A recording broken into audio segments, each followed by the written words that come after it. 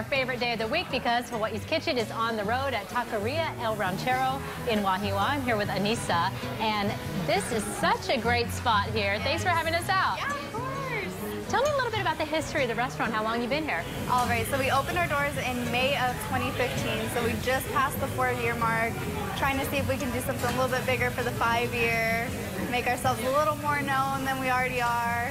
And you're a very popular local spot, especially with a vibrant military community. This is the place to come for tacos. Yes, it is. It's right close to the base. Everybody just comes down. We try to get everybody in and out as quick as possible, and that's something that really accommodates the military as well. Trying to get on their lunch break really quick, get something really good to eat, and head back to work.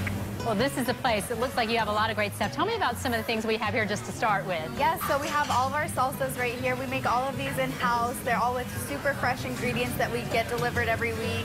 We have our own chips that we make in-house and just all really good, vibrant flavors. They're all pretty spicy, so I always give people a little word of caution when they go to eat them.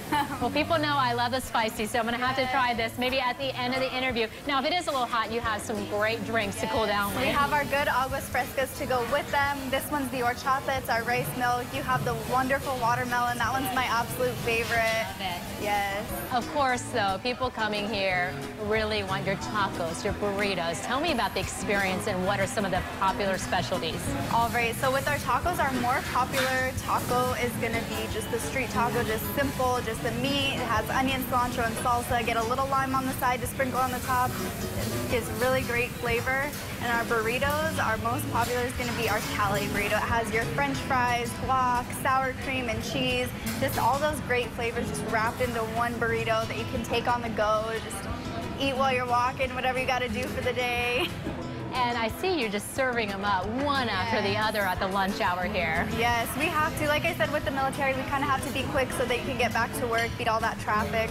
So one of our main goals is to get really good customer service to people and then get them out, like in and out as quickly as we can. And really good food, too. Yes, of course.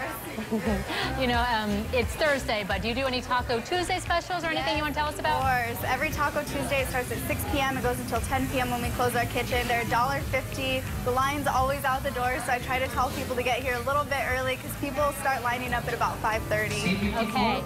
See, and they're serving them up as we speak too. You got the tip here. All right, we want to head into the kitchen. What are we going to be cooking up?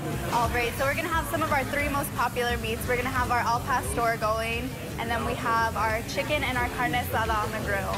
All right, all right. Which is the spiciest of the salsas here, Anissa? Uh, for me, they're all spicy, but I would have to say the brown one. All right, this is it. John knows I like the spice, so a little spicy salsa with the fresh chips here at Taqueria El Ranchero. We're back in the kitchen after this. I wasn't the cameraman on this shoot. It was so good. Every salsa did have nice heat to it because sometimes I'm like, oh, no, no, not, I don't take, I tasted it and I liked it. So the tacos are amazing. You got to see how they put it together. Here's a little to whet your appetite. Sorry, you're going to start, your stomach's I would to start have totally growling. survived. I would have gone on that shoot, and I would have sat next to you, and Mm-hmm. I would have eaten whatever spice you gave up to me. Yes, with the, the watermelon, the agua fresca, so good.